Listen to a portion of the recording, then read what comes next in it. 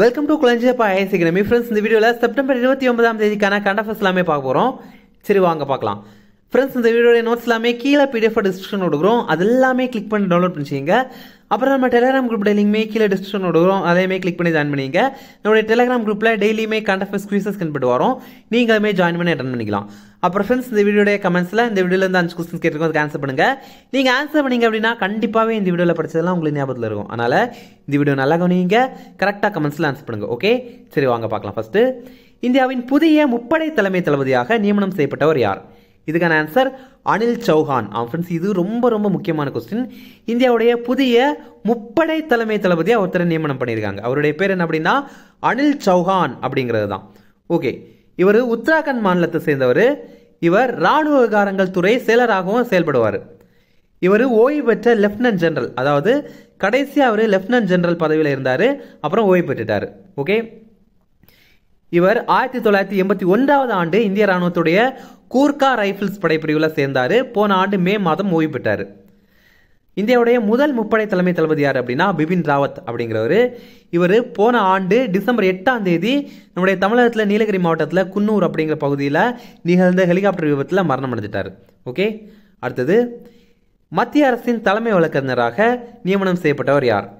இதுக்கான answer Venkata Ramani friends இதை மத்திய அரசின் அட்டர்னி ஜெனரலாக நியமனம் செய்யப்பட்டவர் யார் அப்படிங்கிற மாதிரி கூட கேட்பாங்க. வெங்கட ரமணி அப்படிங்கிறது தான் கரெக்டான ஆன்சர் ஓகே இவரை நியமனம் பண்ணுறவங்க யார் அப்படின்னா நம்ம இந்தியாவுடைய குடியரசுத் தலைவர். இவருடைய பதவி காலம் மூன்று ஆண்டுகளாக இருக்க போகுது. இவர் புதுச்சேரியில் புதுச்சேரியில் ஆயிரத்தி தொள்ளாயிரத்தி ஐம்பதாவது ஆண்டு பிறந்தார். ஆயிரத்தி தொள்ளாயிரத்தி எழுபத்தி ஏழாவது ஆண்டு தமிழக வழக்கறிஞர்கள் சங்கத்தில் பதவி பண்ணார். இப்போ இந்தியாவுடைய அட்டர்னி ஜெனரலாக இருக்கிறவர் கே கே வேணுகோபால் அப்படிங்கிறவர் நாளைக்கு அதாவது செப்டம்பர் முப்பதாம் தேதி இவர் ஓய்வு பெற்றுவார். அதுக்கப்புறம் வெங்கடரமணி வந்து பதவியேற்பார். அடுத்தது பிரதான் மந்திரி கரீப் கல்யாண் அன்ன யோஜனா எப்போது தொடங்கப்பட்டது? இதுக்கான ஆன்சர் மார்ச் இரண்டாயிரத்தி இருபது. ஃப்ரெண்ட்ஸ் இப்போ பார்த்தீங்கன்னா கொரோனா அந்த டைமில் வந்திருந்தது. அப்போ பார்த்தீங்கன்னா நிறைய பேருக்கு உணவு இல்லாமல் வேலை இல்லாமல் கஷ்டப்பட்டுருந்தாங்க. அதனால் நம்முடைய மத்திய அரசு வந்து இந்த பிரதான் மந்திரி கரீப் கல்யாண் அன்ன யோஜனா அப்படிங்கிறத தொடங்கினாங்க. இதை சில நியூஸ் பேப்பரில் மார்ச் அப்படிங்கிற மாதிரி சொல்லியிருக்காங்க. சில நியூஸ் பேப்பரில் ஏப்ரல் அப்படிங்கிற மாதிரி சொல்கிறாங்க ஓகேவா ரெண்டுமே பார்த்து வச்சுங்க சரி. இதை இங்கிலீஷில் பிஎம் கரீப் கல்யாண் அன்னை யோஜனா அப்படிங்கிற மாதிரி சொல்லுவாங்க. தமிழில் என்ன சொல்கிறாங்க அப்படின்னா பிரதமரின் இலவச ரேஷன் பொருட்கள் திட்டம் அப்படிங்கிறத சொல்கிறாங்க ஆனால் கண்டிப்பாகவே எக்ஸாமில் பிரதான் மந்திரி கரீப் கல்யாண் அன்ன யோஜனா அப்படிங்கிற மாதிரி தான் கேட்பாங்க. ஓகே இப்போ இந்த திட்டத்தை பார்த்தீங்க அப்படின்னா இன்னும் மூணு மாதங்களுக்கு நம்முடைய மத்திய அரசு நீட்டிக்கிறதுக்கான ஒப்புதல் வழங்கியிருக்காங்க.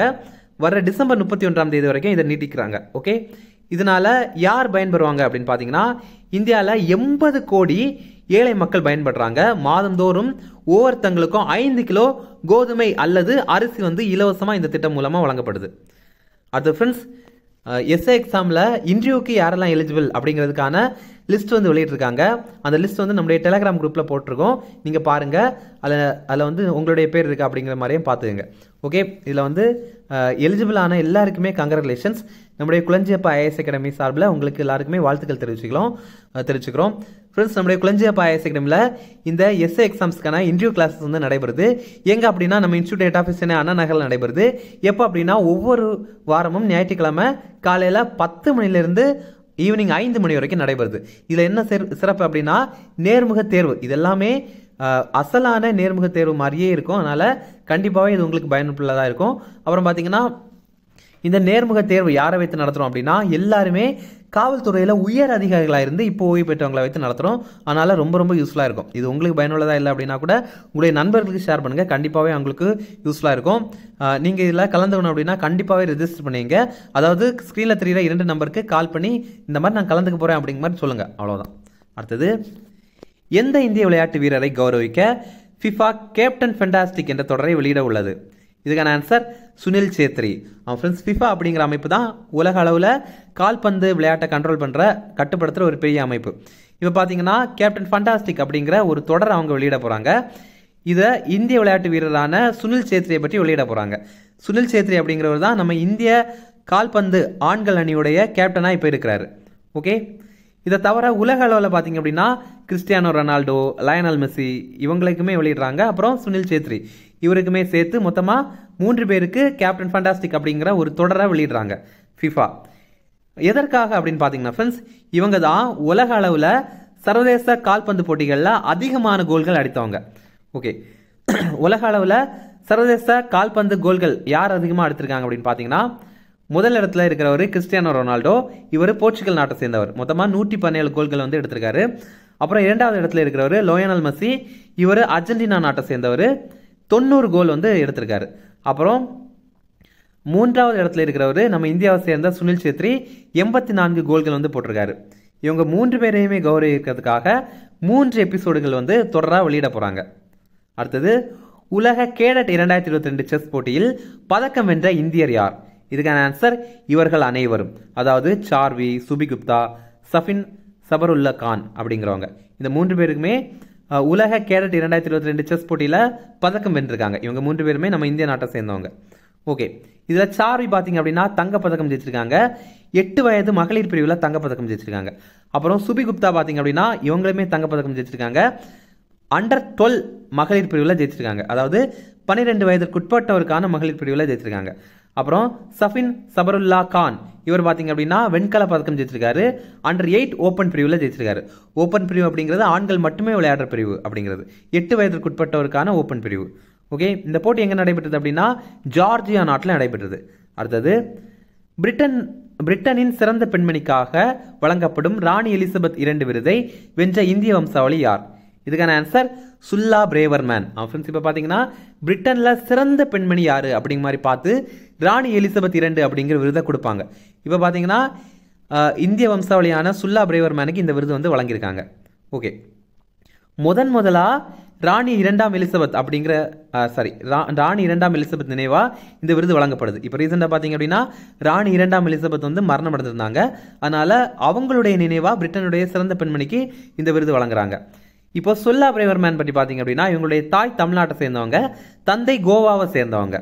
இப்போ ரீசன்ட் நியூஸ் பார்த்தீங்க அப்படின்னா பிரிட்டன் நாட்டுடைய உள்துறை செயலராக இவங்களை நியமனம் பண்ணியிருந்தாங்க. உள்துறை செயலாளராக இவங்களை நியமனம் பண்ணியிருந்தாங்க. அடுத்தது இம்பார்ட்டன்ட் டேஸ் பார்த்தீங்க அப்படின்னா உலக இதய தினம். இன்னைக்கு அப்படின்னா செப்டம்பர் இருபத்தி ஒன்பதாம் தேதி. இந்த வருஷத்துக்கான கருப்பொருள் ஒவ்வொரு இதயத்திற்கும் இதயத்தை பயன்படுத்துங்கள் அப்படிங்கிறது தான். அடுத்தது உலக அளவில் தகவல்களை அணுவதற்கான சர்வதேச தினம். எனக்கு அப்படின்னா செப்டம்பர் இருபத்தி எட்டாம் தேதி. இந்த வருஷத்துக்கான கருப்பொருள் செயற்கை நுண்ணறிவு மின் ஆளுமை மற்றும் தகவல் அணுகல் அப்படிங்கிறது. அதாவது ஃப்ரெண்ட்ஸ் உலகத்தில் எல்லாருக்குமே அவங்க தேவைப்படுற அவங்க என்ன தகவல் தேவைப்படணும் அப்படின்னு நினைக்கிறாங்களோ அதெல்லாமே கிடைக்கணும் அப்படிங்கிறதுக்காக தான் இந்த தினம். ஓகே அடுத்தது எந்த மாநில அரசு புதிதாக பிறந்த குழந்தைகளின் இறப்பை தடுக்க சான்ஸ் என்னும் கருவியை பயன்படுத்த உள்ளது? இதுக்கான ஆன்சர் அஸ்ஸாம் ஃப்ரெண்ட்ஸ் இது என்ன அப்படின்னு பார்க்கலாம். இப்போ பார்த்தீங்கன்னா தொடர்ச்சியான நேர்மறை காற்றழுத்தம் வழங்குற ஒரு கருவி. அதாவது ஃப்ரெண்ட்ஸ் இது வந்து குழந்தைகளுடைய ஃபேஸில் வந்து மாஸ்க் மாதிரி செட் பண்ணிடுவாங்க. அதுக்கப்புறம் தொடர்ந்து ப்ரெஷர் வந்து வழங்கிட்டே இருக்கும். இதனால் என்ன ஆகும்னா பிறந்த குழந்தைகள் சிலருக்கு வந்து ப்ரீத்திங் ப்ராப்ளம் இருக்கும். அதாவது சுவாசிக்கிறது ரொம்ப கஷ்டமாக இருக்கும். ஆனால் தொடர்ந்து ஒரு மாஸ்க் வழியாக ப்ரெஷரை வந்து வழங்கிட்டே இருக்கனால அவங்களால ஈஸியாகவே சுவாசிக்க முடியும். அதற்காக இதை வந்து பயன்படுத்த போகிறாங்க ஓகே இங்கிலீஷில் இதை கண்டினியூஸ் பாசிட்டிவ் ஏர்வே ப்ரெஷர் அப்படிங்கிற மாதிரி சொல்கிறாங்க இது பெங்களூரை சேர்ந்த ஒரு நிறுவனம் உருவாக்கிய கருவி. அஸ்ஸாம் மாநிலத்தில் இருக்க அரசு மருத்துவமனையில் இதை பயன்படுத்த போகிறாங்க அடுத்தது சைகை மொழி பயன்பாட்டிற்காக மத்திய அரசு தொடங்கிய செயலி எது? இதுக்கான ஆன்சர் சைன்லேன் ஃப்ரெண்ட்ஸ் இப்போ வந்து சைகை மொழிகளை வந்து எல்லாரும் தெரிஞ்சுக்கணும் அப்படிங்கிறதுக்காக சைன்லேன் அப்படிங்கிற ஒரு ஆப்பை நம்முடைய மத்திய அரசு தொடங்கியிருக்காங்க. இதில் ஆப்ஷன்ஸ் பார்த்தீங்க அப்படின்னா சைன் இந்தியா சைன் வேர்ல்டு இப்படிங்கிற மாதிரி கூட எல்லாம் இருக்குல்ல அதனால் கன்ஃபியூஸ் ஆகக்கூடாது. சைன் லேண்ட் அப்படிங்கிறது தான் கரெக்டான ஆன்சர் ஓகே இது சைகை மொழியுடைய அகராதியாக செயல்படும். அதாவது ஒரு டிக்ஷனரியாகவே செயல்படும். இதில் பத்தாயிரம் வார்த்தைகளுக்கான சைகைகள் அடங்கியிருக்கு. அதாவது நீங்கள் இந்திய நீங்கள் வந்து இந் இந்தியிலையும் ஆங்கில மொழியிலையும் இதை தேடலாம். அதாவது உங்களுக்கு இப்போ வந்து சாப்பிடணும். இப்போ சாப்பிட்றதுக்கு என்ன சைகை மொழி அப்படின்னு நீங்கள் வந்து ஈட் அப்படிங்கிற மாதிரி போட்டோன்னா அதுக்கான சைகை வந்து எல்லாமே வந்துடும் ஓகே அடுத்தது சில ஷார்ட் நியூஸ் ஃப்ரெண்ட்ஸ் அதையுமே பார்க்கலாம். சவுதி அரேபியாவுடைய பட்டத்து இளவ இளவரசராக இளவரசராக இருக்கிற முஹ் முகமது பின் சல்மான் அப்படிங்கிறவரை அந்த நாட்டுடைய பிரதமராக அந்த நாட்டுடைய மன்னர் சல்மான் பில் பின் அப் அப்துல் லஜீஸ் அப்படிங்கிறவர் நியமனம் பண்ணியிருக்காரு. ஓகே அதாவது ஃப்ரெண்ட்ஸ் இப்போது சவுதி அரேபிய பட்டரத்து இள இளவரசராக இருக்கிறவர் முகமது பின் சல்மான் அப்படிங்கிறவர் அவரை அந்த நாட்டுடைய பிரதமராக நியமனம் பண்ணியிருக்காங்க. ஓகே? அடுத்தது பாப்புலர் ஃப்ரெண்ட் ஆஃப் இந்தியா அப்படிங்கிற அமைப்பை சட்டவிரோத இயக்கம் அப்படிங்கிற மாதிரி அறிவித்து மத்திய அரசு தடை பண்ணியிருக்காங்க. இவங்க ஐந்து ஆண்டுகள் இதற்கு தடை விதிச்சிருக்காங்க.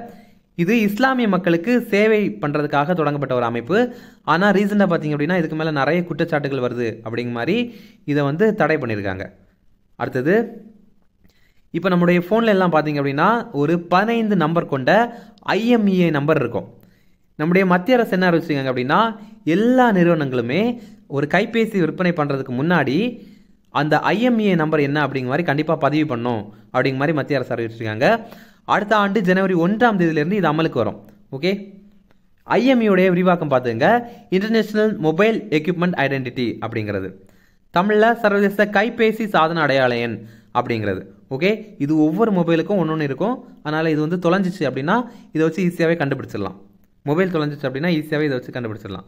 ஓகே அவ்வளோதான் ஃப்ரெண்ட்ஸ் இந்த வீடியோ பிடிச்சிருந்தா கண்டிப்பாக லைக் பண்ணுங்கள் நம்ம சேனல் சப்ஸ்கிரைப் பண்ணி வச்சுங்க உங்கள் நண்பர்களுக்கு ஷேர் பண்ணுங்கள் அவங்களுக்குமே கண்டிப்பாக யூஸ்ஃபுல்லாக இருக்கும். அப்புறம் நேற்றுக்கு நிறைய பேர் கரெக்டாக கமெண்ட்ஸில் ஆன்சர் பண்ணிங்க.